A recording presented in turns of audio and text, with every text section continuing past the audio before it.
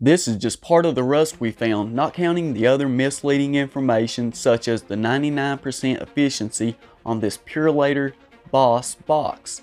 Because without the micron rating, that information is just misleading. We've definitely got a few surprises for you today. I'm really excited for you guys to see this one. Now, let's go ahead and check out these filters in greater detail. Amsoil on the right and the Fram Pro Synthetic on the left. The only problem I see here is the rust on the inside of the filter guys, which is a big problem. Now the Pennzoil on the left and our other base plate, the Purolator Boss on the right, Pennzoil on the right, Mahle on the left, they all seem to be good quality. Now we have the gaskets. This is for sealing the oil filter to make sure it doesn't leak on the block of the engine. You can see this guys, it's all natural rubber gaskets, nothing special here. These definitely get the job done. Now let's go ahead and check out the anti-drainback valves. Amsoil and Fram Pro Synthetic, they're silicone drainback valves. So is the Boss. Well, the Pennzoil, not so much. You can see it's a natural rubber, the Mahle, it doesn't even use that typical anti-drainback valve. It actually uses the valve I'm showing you guys here, which has this spring in the center and there's a gasket inside there to help seal it off. This way you're able to get engine oil flow at really cold temperatures.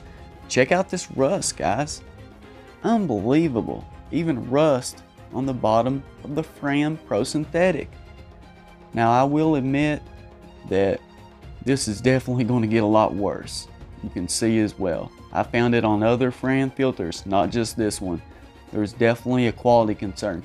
Now I see why they puddle the oil inside of their filters, but for some reason, it's just not getting the job done. You can see the Mahle filter used the coil spring, and right here we have the Amsoil on the right, Pro Synthetic Fram on the left. Both use high quality synthetic media materials. The Amsoil is a 15,000 mile oil filter, and the Fram Pro Synthetic, it's 15,000 miles as well. Top and bottom steel end caps. Now the steel center tubing of the Fram, but there's a plastic center tubing for the Amsoil filter. Amsoil and Fram both use steel mesh backing for more stability and longer engine oil drain intervals. The Pennzoil on the left, Purolator Boss on the right. As you can see, the Purolator uses a synthetic media material and the Pennzoil, not so much. The cheap cellulose, you can see just how easily this stuff just tears right apart. Guys, don't forget to let me know what oil filter you'd like to see cut open next, even one for your very particular vehicle. Just make sure to include the make and model. And if you've included this before, well guys, be patient. I'm trying to reach everyone as soon as possible. Well, unfortunately with a 99% efficiency for the Boss, it's not really going to help much as I said because this could be at 50 microns. I doubt it's that high, but you never know. Now for this Mahle filter, it has a cellulose material. As you can see just how weak this stuff is, it tears very easily and you can manipulate it very easily. Not the greatest construction,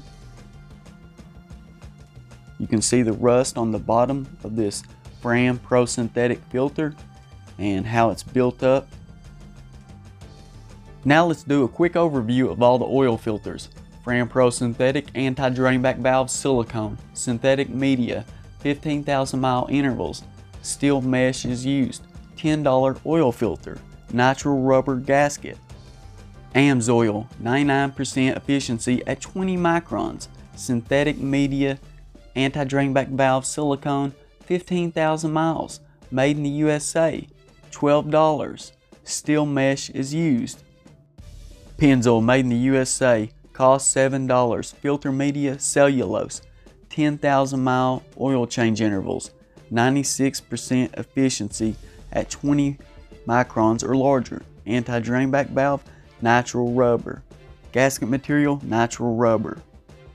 Purolator Boss, 100% synthetic media, no steel mesh is used, silicone anti-drainback valve, 15,000 mile oil change intervals, $12 oil filter.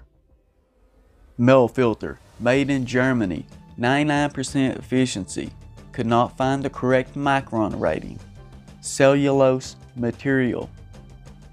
Cost $15. Thanks for watching Nate's Interactive Auto.